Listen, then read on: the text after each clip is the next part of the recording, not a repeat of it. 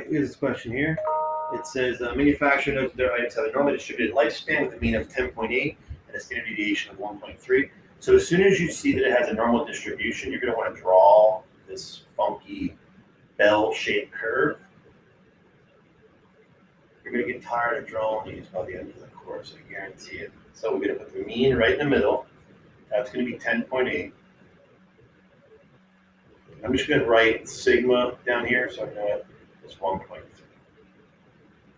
It says the 6% of items with the shortest lifespan will last less than how many years? So the bottom 6%, I'm just going to draw a vertical line here, call that x. I want to know what value that is that cuts off the bottom 6% or 0.06. Okay? Which leaves 94% above it, but all we care about is the 0.6 below it. So when you have when you have the, the, the value, you're looking for the probability. If you're looking for probability, I'm right looking for prob.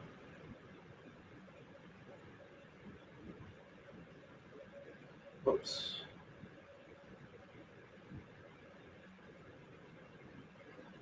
You want to use normal CDF. When you have the probability, like we do here, we're looking for the value,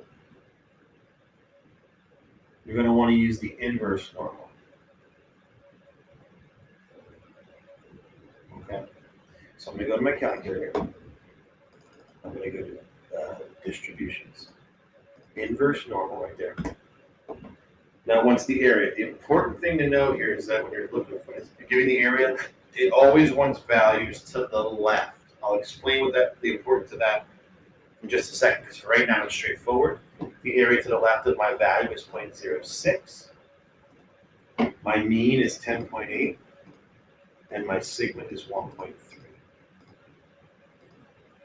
I'll enter, and I get, okay, that value right there that cuts off the bottom 6% is 8.77 or 8.8 when rounded to one decimal place.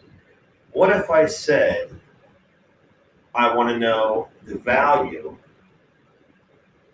call this x2, that cuts off the top 12% or 0.12, the top 12%.